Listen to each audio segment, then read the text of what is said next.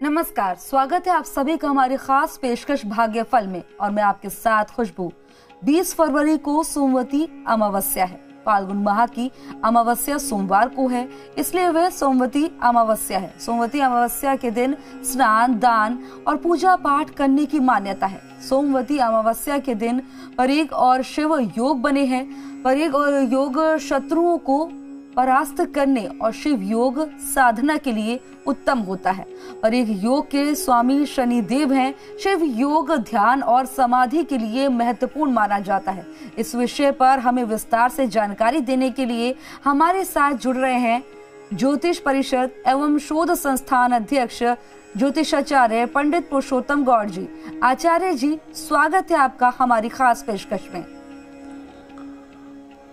अगर आपके मन में कोई भी शंका है धन्यवाद श्री जी पंडित जी। अगर आपके मन में कोई भी शंका है तो आप हमारे साथ जुड़कर पंडित जी से अपनी समस्या का हल जान सकते हैं। हमारा नंबर आपकी टीवी स्क्रीन पर आपको फ्लैश कर रहे हैं। नंबर है शून्य एक दो शून्य सात एक पाँच तीन सात आठ सात। और दूसरा नंबर है शून्य दो शून्य एक दो शून्य सात एक पाँच तीन आठ दो छ इन नंबर्स पर आप कॉल करके आप अपनी समस्या का निवारण जान सकते हैं।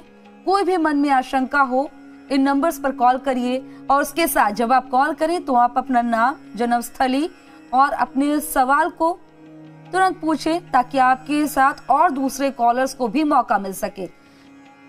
पंडित जी आपके पास आऊँगी। आज के दिन के महत्व के बारे में जानना चाहेंगे सबसे पहले। देखिए, आज का दिन ये अमावस्या शाम को शुरू होने वाली है। कल उदय व्यापनी अमावस्या रहेगी, सोमवती अमावस्या रहेगी। और सोमवती अमावस्या के दौरान विशेष तौर पर जो हम देखने को मिलता है कि यहाँ शत्रुओं को परास्त करने का योग बन रहा है, जिसे शिव योग कहते हैं। शिव योग जब बनता है, इस योग में साधना जो करते हैं, साधना वाले लोगों के लिए तो बहुत ही कारगर होता है। सोमवती अमावस्या इस बार 20 फरवरी यानी सोमवार के दिन रहेगी। इसमें परिक योग और शिव योग बन रहा है। सोमवती अमावस्या के दिन जब फाल्गुन मास की सोमवती अमावस्या, इसमें दान, पुण्य और पूजा पाठ की बहुत बड़ी मान्यता है। आज रविवार है और चौदस है। चौदस को रिक्ता तिथि बोलते हैं, इसलिए कोई भी शुभ मंगल कार्य को शुभ नहीं देते हैं। सुमति अमावस्या का जो हम देख पा रहे हैं परिक योग जो बन रहा है ये दुश्मनों को परास्त करता है। ये भी आपको बता दें कि जो हम्म, परिक योग है ये कैसे बनता है। इस योग के स्वामी जब शनि होते हैं तो फिर इस योग में दुश्मनों के खिलाफ किए गए कार्य विजयी प्राप्त करने वाले बन जाते हैं। शिव योग जब बनता है तो उसमें आप भक्ति साधना जो करते हैं, उसमें आपको सफलता मिलती है। और सोमवती अमावस्या, सोमवार के दिन जब अमावस्या उदय व्यापनी होती थी तो फिर वो अमावस्या होती है। शिव योग में समाधि के लिए बहुत ही शुभ माना गया, जाता रहा है। शिव एक दर्शन है। शिव एक दर्शन है, इसके अनेक अनेक रूप में आदि अनादि अंत नहीं है। शिव एक शक्ति का नाम है। शिव एक संहार करता है। शिव एक भोले बाबा भी है, लेकिन शिव तांडव भी करते हैं और शिव विनाश भी करते हैं। इसलिए ये शिव योग का जो है, बड़ा महत्व होता है। शिव एक, ये कह सकते हैं कि शिव योग में साधना की भी बड़ी शुभ मानी जाती है। सोमवती अमावस्या के दिन अमृत सर्वा, सर्वोत्तम मुहूर्त रहेगा। अमृत वेला छः बज के छप्पन मिनट से सुबह आठ बज के बाईस, बीस मिनट तक रहेगी। इस मुहूर्त में स्नान आदि, दान पुण्य आदि, गंगा, सरोवर, तीर्थ या फिर गलता जी में स्नान करना शुभ होता है। देखिए, हमारा प्रयास रहता है कि कोई भी पर्व से एक दिन पहले हम आपको अपडेट दें, ताकि उस पर्व का सुबह आप होते ही अपना लाभ लें। इसीलिए आपको बतला रहे हैं कि कल तीर्थ स्थलों पर ब्रह्म मुहूर्त से ही लोग स्नान आदि करेंगे। वहीं दान पुण्य की प्रक्रिया रहेगी। अपने पितरों का स्नान आदि होता है, ये भी करेंगे। और ये ब्रह्म मुहूर्त सुबह पाँच बज के चौदह मिनट से और छः बज के पाँच मिनट तक रहेगा। इस दौरान प्रत्येक शुभ किए हुए कार्य आपको लाभ देने वाले रहेंगे। आपको बहुत मंगल शुभकामनाएँ। सभी दर्शकों को बहुत मंगल शुभकामनाएँ। जी। तो चलिए उम्मीद करते हैं कि आपको सोमवती अमावस्या पर क्या करना है क्या नहीं करना है ये तमाम जानकारी मिल गई है। अब हमारे साथ पंडित जी कॉलर जुड़ने लगे हैं। तो सबसे पहले जो कॉलर हमारे साथ जुड़े हैं वो अपना नाम जन्मस्थली बताएँ और इसके साथ मन में जो भी आशंका है जो भी शंका है उसे पंडित जी से सवाल करके उसका जवाब लेके उसे दूर करें।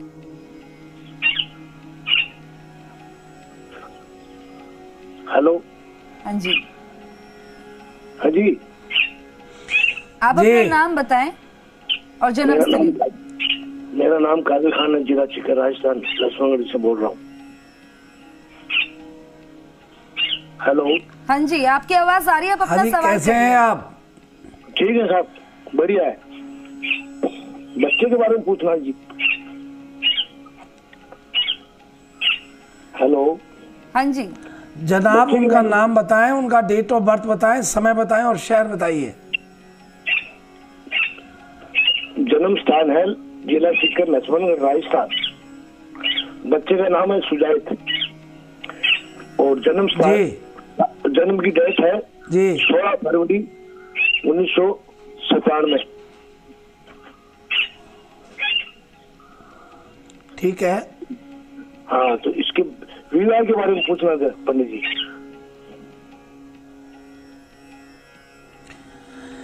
देखिए, हमारे आप प्रोग्राम में पहले भी जुड़े हैं, आपको पहले भी हमने बतलाया था, व्यापार आदि के लिए बताया था, घर आदि के कार्यों को अच्छे से, सुचारू रूप से चलाने की स्थिति में उपाय बताए थे। ऐसे में आपको बताना चाहूँगा कि आपके बेटे का जो विवाह का संयोग की बात करते हैं तो 2023 में ये संयोग बनेगा। और उसके बाद 2023 में अवश्य विवाह होना तय है। और हमारे सभी दर्शकों को बताना चाहेंगे कि हमारे इस चैनल में, इस भाग्यफल कार्यक्रम में, चाहे कोई भी धर्म, जाति का हो, सब लोग जुड़ते हैं, सब अपना विश्वास रखते हैं, सब श्रद्धा रखते हैं और सबको ये प्रोग्राम बहुत पसंद आता है, इसे सब लोग जुड़ते हैं। यहाँ तक कि कई लोग तो गाड़ियों के मुहूर्त प्रवेश, गृह प्रवेश आदि भी पूछ लेते हैं। भाग्यफल कार्यक्रम में सभी लोगों के उज्जवल भविष्य को ध्यान में रखते हुए पूर्ण समर्थन के साथ में हम प्रयास करते हैं कि अच्छे से अच्छा आपका हम दर्शन करा सकें और अच्छे से अच्छे आपको बता सकें। यही हमारा उद्देश्य है। भागफल कार्यक्रम को इसमें आपको बता दें कि आपके बेटे की शादी इसी साल बैठती है। आपको बहुत मंगल शुभकामनाएँ। चलिए उम्मीद करते हैं आपको आपके मन की जो शंका थी वो दूर हुई होगी। अगले कॉलर जो हमारे साथ जुड़ रहे हैं जो भी मन में शंका है उसे दूर करिए। आप अपना नाम बताइए जन्मस्थली बताइए और इसी के साथ आप अपने मन के जो भी सवाल हैं वो पंडित जी से पूछिए। प्रणाम आचार्य जी। प्रणाम आचार्य जी। जी आयुष्मान मेरा नाम वेद प्रकाश है। छह सितंबर उन्नीस सौ उनहत्तर सिक्सटी नाइन। मेहंदीपुर बालाजी का जन्म है रात्रि साढ़े ग्यारह बजे का। आ, काम धंधे सब रुके पड़े हैं पंडित जी। पैसे जी क्या जानना चाहते काम धंधे रुके पड़े हैं पैसे से बहुत तंग हो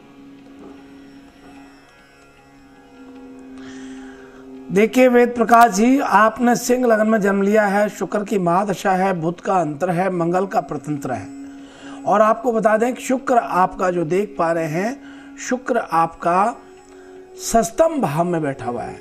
ये शुक्र आपकी स्थिति बहुत ज़्यादा तृतीय भाव का और दसम भाव का स्वामी हो रहा है, अशुभ स्थिति बनाता है और अनुकूल फल नहीं मिलने देता।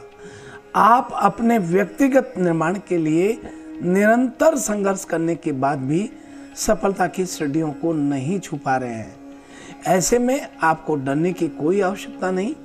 आप कृपा करके प्रतिदिन सात पाठ हनुमान चालीसा का करें और यदि बन सके तो राम रक्षा स्त्रोत भी पढ़ें।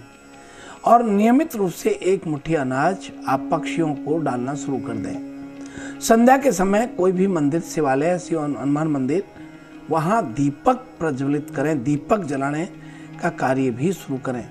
यह आपके लिए बहुत उत्तम रहेगा। आप ये कीजिए, अवश्य आपको लाभ होगा। और आपको बहुत मंगल शुभकामनाएँ। मेहंदीपुर बालाजी सिद्ध स्थान है, वहाँ जाकर के माथा टीकिए। शनिवार मंगल को जाइए और प्रणाम करिए उनके चरणों में। दंडवत करते हुए अपनी अर्जी लगाइए।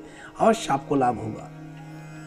अगले कॉलर जो हमारे साथ जुड़ रहे हैं, जो भी मन में सवाल हैं, वो अपने सवाल आप पंडित जी से करिए।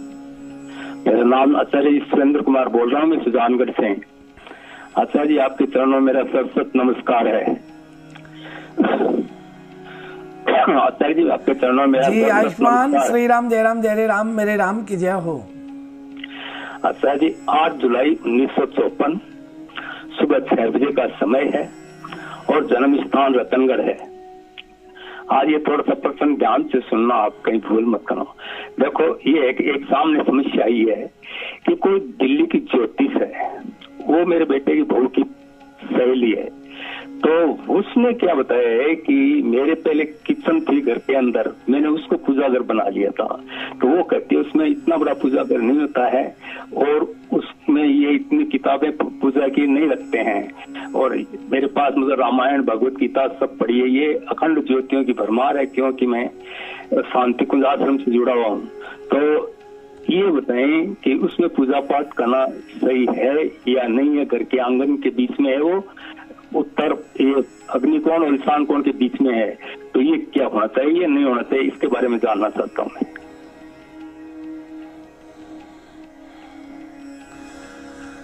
देखिए, आपने ये प्रसंग बहुत अच्छा किया है। मैं समझता हूँ कि समस्त हमारे दर्शकों के लिए बहुत कल्याणकारी साबित होने वाला है। आपको बता दें कि पूजा करने की जगह, चाहे वो कितनी भी बड़ी हो कहीं किसी भी तरह से कोई नुकसान नहीं देती है। और रहा सवाल ये कि किसी बहन ने क्या कह दिया या किसी एस्ट्रोलॉजर ने क्या कह दिया, इस पर मैं नहीं जाने वाला। मैं केवल इतनी बात करूँगा कि आप पूजा घर, मंदिर बड़ा बनाए, छोटा बनाए, बड़े घरों में जिनके पास बड़ी जगह है, वो बड़ा बना लेते हैं। जिनके पास छोटी जगह होती है, वो छोटे से बना लेते हैं। जिनके पास एक कमरा होता है तो एक अलमारी में रख लेते हैं। जिनके पास कुछ भी ना हो तो अपने झोले में ही भगवान को बिठा लेते हैं। तो डिपेंड करता है जगह के ऊपर। इसलिए बहुत स्पष्ट बात है कि भगवान तो एक निराकार हैं, उनका कोई आकार ही नहीं है। अब आप पुस्तकें जहाँ रखते हैं, वो तुम्हारा तीर्थ होता है। पुस्तक चाहे एक रखें, सौ रखें, पाँच सौ रखें, हज़ार रखें। या तो फिर इसका मतलब ये हुआ कि लाइब्रेरी में पुस्तक एक ही होनी चाहिए। लाइब्रेरी में हज़ारों पुस्तक क्यों रखते हैं फिर? इसलिए बहुत स्पष्ट बात है कि पुस्तक जितनी होंगी, वही तो तीर्थ बनता है। कल कोई कहे कि साहब एक संत को ही बैठाइए, सौ संत एक साथ नहीं बैठे, सौ ब्राह्मण एक साथ नहीं बैठे। जितने ज़्यादा होंगे उतना ही वो उस कार्य के जो प्रतीक होते हैं, वो शक्तिवान बन जाता है कार्य। मान लो डॉक्टर्स का कोई काम है, वहाँ चार डॉक्टर इकट्ठे हो गए तो बहुत मजबूती से फैसला होगा। पंडित एक का काम है और दस इकट्ठे हो गए तो निश्चित रूप से मजबूती से होगा। तो ये कोई बात नहीं है। आप बिल्कुल चिंता ना करें। और किसी ने कहा है, उसका भी स्वागत है। हम उसके बारे में क्यों अपना समय जया करें? लेकिन बहुत स्पष्ट है कि इसके लिए आप डरिए मत। कोई डरने की आवश्यकता नहीं है। और कृपा करके इतना ज़रूर मैं आपको बता दूँ कि जब पुस्तकें जहाँ रखते हैं, आप पुस्तकों के बीच कोई भी गंदगी ना करें, जूते चप्पल पहन के ना जाएँ, और भगवान के मंदिर में तो दूरी खोल देते हैं। और उनकी धूप अगरबत्ती दीपक रोज दिखाएँ, क्योंकि धूप दीप अगरबत्ती करना ज़रूरी होता है। खाली ला के रखने से पुस्तकों का पाप लगता है, उनकी रोज पूजा अर्चना कर, क्योंकि सब भगवान उसमें बैठे हुए हैं। उनका महत्व भी उनमें वर्णन किया गया है। इसलिए बिल्कुल नहीं डरने की आवश्यकता है। आप तो हर्ष और उल्लास से प्रसन्नता के साथ स्वाध्याय करें और अपनी आने वाली पीढ़ी को भी आप तैयार कर रहे हैं। बहुत मनोकामना आपकी पूर्ण हो। और शांति कुंज हरिद्वार यानी गायत्री पीठ जो है, वहाँ से कौन नहीं जुड़ा हुआ? हम भी जुड़े हुए हैं। वहाँ देखिए आप, आचार्य श्री राम जी ने चार हज़ार पुस्तकों में अपना हाथ से लिखा है और उनकी वाणी और उनके शब्द कितने महत्वपूर्ण हैं। इसे उनको रखिए, पढ़िए, स्वाध्याय कीजिए, स्वाध्याय कराइए। आपको बहुत मंगल शुभकामनाएँ हैं आपके लिए। अगले कॉलर जो हमारे साथ जुड़ेंगे, वो अपना नाम बताएँ, अपनी जन्म स्थली और इसी के साथ अपने मन में जो भी सवाल है, वो पंडित जी से पूछकर उसका निवारण आपको ज़रूर मिलेगा। पूछिए।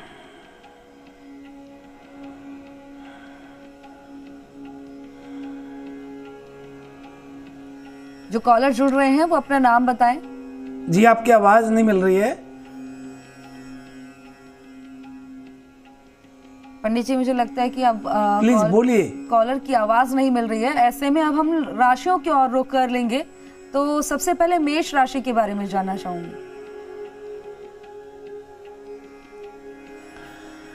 आइए सबसे प्रथम मेष राशि के बारे में बात करते हैं। आज का दिन आपका बहुत अच्छा रहने वाला है। आकस्मिक धन लाभ के संयोग बने हुए हैं। पुराने निवेश, पुराने दोस्तों या संबंधों से आज आपको लाभ मिल सकता है। शेयर और प्रॉपर्टी में निवेश से अच्छा मुनाफा आज होने वाला है। नौकरी में स्थिति बहुत अच्छी नहीं रहेगी। घर परिवार की भी समस्या आज रहने वाली है।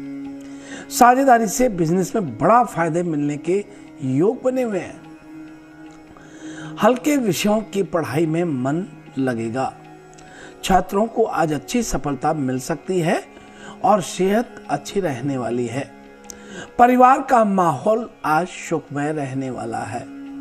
इस प्रकार से आज मेष राशि का यह है। और अब बात करते हैं वृषभ राशि वाले लोगों की।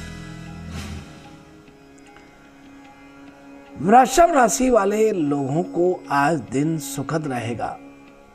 कठिन परिश्रम के सभी कार्यों में आज आपको सफलता मिलती दिखाई देती है। आज अचानक कहीं से लाभ हो सकता है। व्यवसाय में सोच समझ करके लिए गए फैसले निर्णय लाभ, निर्णय लाभदायक रहेंगे और योजनाएँ भी सफल होंगी। धार्मिक आयोजनों में भाग आज आप ले सकते हैं। कारोबार या दफ्तर से जुड़े काम को लेकर यात्रा पर आज ज़रूर जा सकते हैं। सेहत का ध्यान रखें। अधिक परिश्रम से जुड़े काम को लेकर यात्रा पर आज आप जा सकते हैं।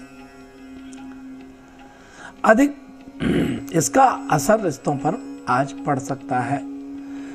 दोस्तों की अनदेखी आज ना करें तो ठीक रहेगा। और अब आइए हम बात कर रहे हैं मिथुन राशि वाले लोगों के लिए। आज का दिन मिला जुला रहने वाला है। धन लाभ के योग बने हुए कार्यभार की अधिकता रहेगी। लेकिन कड़ी मेहनत से कार्यों में सफलता आज मिलती है। यात्राएँ आज आपको बहुत लाभ देंगी। अनावश्यक खर्च आज आपके बढ़ सकते हैं, जिससे आर्थिक स्थिति कमज़ोर होने की संभावना दिखाई देती है। जितनी मेहनत करेंगे, उतना फल प्राप्त होगा। नवीन वस्त्र आभूषण की प्राप्ति हो सकती है। दूसरों के काम में दखल ना दें। परेशानी में आज आप पढ़ सकते हैं। दौड़ धूप करने से थकान महसूस होगी। परिवार में कले भी आज रह सकता है। और अब बात कर रहे हैं करक राशि वाले सभी लोगों के लिए। आज का दिन आपका सामान्य सा ही रहेगा। जैसे कर्म करेंगे, वैसा ही फल प्राप्त होने वाला है। कार्यक्षेत्र और बिज़नेस में अचानक आज आपको फ़ायदा रह सकता है। लेकिन सोच विचार कर निर्णय लेने की आज आवश्यकता है। कुछ मामलों को लेकर मन में भ्रम और अनिश्चितता का माहौल रहेगा। प्रॉपर्टी में निवेश फ़ायदेमंद रहने वाला है। छोटी परेशानियों से मुकाबला करेंगे तो आज अवश्य सफलता मिलेगी। यात्रा सफल रहेगी, पार्टी में पिकनिक का आनंद मिलेगा। विद्यार्थियों के लिए आज समय अच्छा है।